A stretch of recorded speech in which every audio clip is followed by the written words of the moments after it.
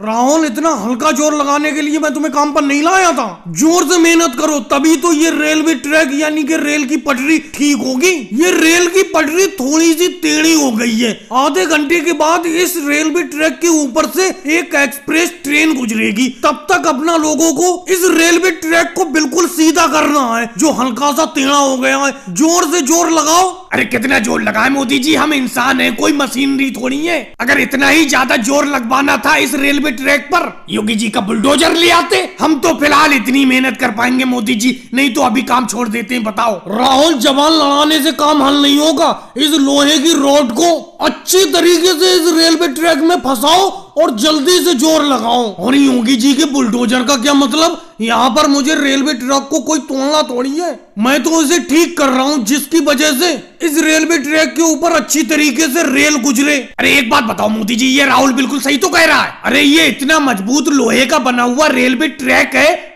इस railway track को अपना लोग ऐसे लोहे की रोटों से कैसे सीधा कर सकते अपना इंसानी तो है, कोई मशीन थोड़ी है। अगर मेरा बुलडोजर आ जाता तो मैं हल्का सा ज़ोर लगाकर इस रेल की पटरी, यानी कि रेलवे ट्रैक को ठीक कर सकता था। योगी जी, मैं आपकी बात से सौ टका असहमत हूँ। सही तरीके से मेहनत नहीं कर रहे हो, ज़ोर नहीं लगा रहे हो, और दोस्त रेलवे ट्रैक, यानी कि रेल की पटरी को दे रहे हो कि ये रेलवे ट्रैक लोहे का बना हुआ है, ये कैसे सीधा हो जाएगा?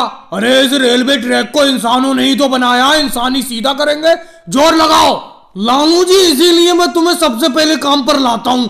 तुम्हारी बातें मुझे बहुत पसंद आती हैं। देखा राहुल योगी जी, तुम लोग तो बहाना बना रहे हो। ये लालू जी, देखो कितनी मेहनत से मेहनत कर रहे हैं। और इन्होंने अपनी साइड में देखो रेलवे ट्रैक को ठीक भी कर दिया। मैंने अपनी तरफ़ भी ठीक कर दिया। बीच में राहुल, तुम्हारा योगी जी का रेलवे ट्रैक सही तरीके से ठीक नहीं हो पाया अभी ये खराब है। केजरीवाल जी, तुम भी लालू जी को देखकर मेहनत करने लगो, जैसे खरबूजे को देखकर खरबूजा रंग बदलता है। कर तो रहा हूँ मोदी जी, देखो मैं लालू जी की तरह मेहनत कर रहा हूँ। बस ये रेलवे ट्रैक ठीक होने ही वाला है, आधे घंटे बाद इस पर अच्छी तरीके से ट्रेन दौड़ेगी। और भाई लोगों वीडियो को लाइक करो, चैनल को सब्सक्राइब करो।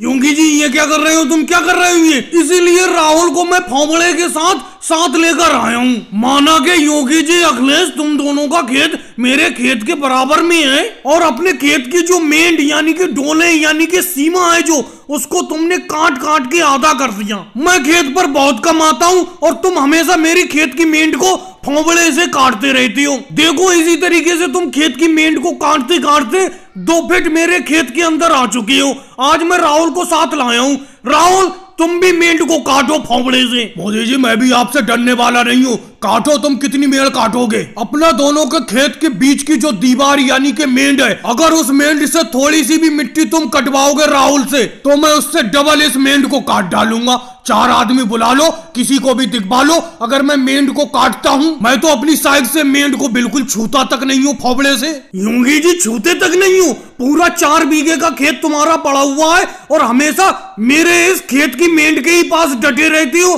काम करने के लिए। जाओ उस साइड में काम करो यहाँ पर मेंढ को काटने में लगे हुई हो तुम। राहुल, तुम मेंढ को काटो। देखो राहुल, हम तुम्हें बता देते हैं अगर तुमने थोड़ा सा भी फोड़े से मिट्टी काटी इस मेंढ की तो मुझसे और योगी जी से बुरा कोई नहीं होगा। अरे मोदी जी, आपका खेत है, आपके खेत की मेंढ है। लो, ये फोड़ा अपने हाथ में लो, अपने हाथ से ही इस मेंढ को काटो। ऐसी मजदूरी चाहे भाड़ में, मैं इस मेंढ के झगड़े में नहीं पड़ूँगा। देख नहीं रहे हो, अखिलेश क्या कह रहा है? अगर मेंढ को मैंने छू लिया तो मुझसे बुरा कोई नहीं होगा। आपका खेत है, आप ही अपने हाथ में इस फोबड़े को पकड़ो और मेंढ को काटो। मैं तो चला यहाँ से। राहुल, तुम डर क्यों रहे हो? जब मैं यहाँ पर मेंट पर अपने खड़ा हुआ हूँ मैं कह रहा हूँ, इस मेंढ को तुम काटो। क्योंकि जितनी खेत की मेंढ योगी जी और अखिलेश ने अपनी तरफ़ से काट ली है, उतनी मेंढ तो मैं भी अपनी तरफ़ से काटूँगा। वो कौन सी गणी थी जो अखिलेश और योगी जी के बराबर में इस खेत को खरीद कर मैं फंस गया? मोदी जी, आप थोड़ी फंसे, हम फंस गए हम। खेत पर आप ज़्यादा आते नहीं हो, मजदूरों को भेजते रहते हो और मजदूरों से खेत को, मेंढ को कटवाते रहते हो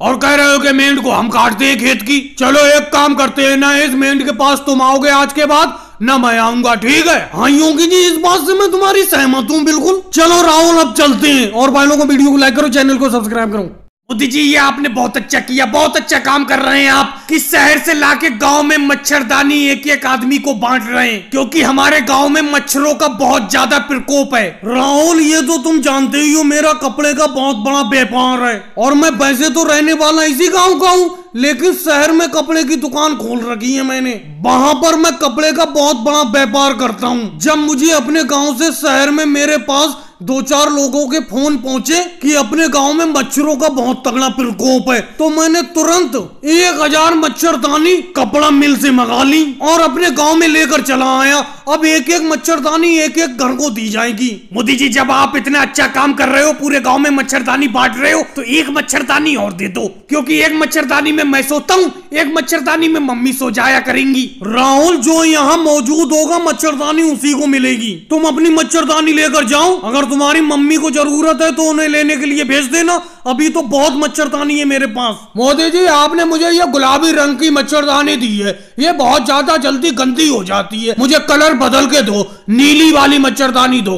अगलेश इतनी ज़्यादा खुराबात तो तुम अगर खुद अपने पैसों से मच्छरदानी खरीदने के लिए जाते होगे तो नहीं निकालते होंगे। जो मच्छरदानी तुम्हें मिल गई वो ही अपने साथ ले जाओ। मोदी जी क्या हम ऐसी बैठे रहे? दो घंटे से बैठे हुए हैं। कितनी देर में मच्छरदानी मिलेगी हमें? केजरीवाल मेरे दो ही दो हाथ हैं एक एक करके सबको मच्छरदानी दे रहा हूँ। थोड़ी देर सब्र करो तुम्हारा भी नंबर आएगा। अरे एक बात बताओ मोदी जी कितनी देर में नंबर आएगा? मैं तो चार घंटे से बैठा हुआ हूँ। मुझे बहुत तेज भूख लगी है मैं खाना खा के दोबारा आऊँगा। योगी जी दोबारा क्यों आओगे? तुम्हारा नंबर पाँच मिनट बाद आने ही वाला है।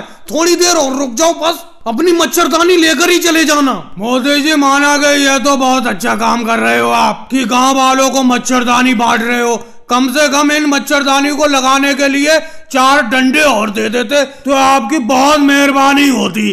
चार डंडों की ज़रूरत पड़ेगी इस मच्छरदानी को लगाने के लिए। अरे लालू जी बड़ा अजीब बात कर रहे हो। उंगली पकड़ के तुम तो हाथ पकड़ रहे हो। एक तो मैं तुम लोगों को मच्छरदानी बांट रहा हूँ। ऊपर से तुम मच्छरदानी लगाने के लिए डंडे भी मांग रहे हो। कल को चारपाई भी मांगोगे, जिस चारपाई में ये मच्छरदानी लगाई जाती है। और भाई लोगों, वीडियो को लाइक करो, चैनल को सब्सक्राइब करो।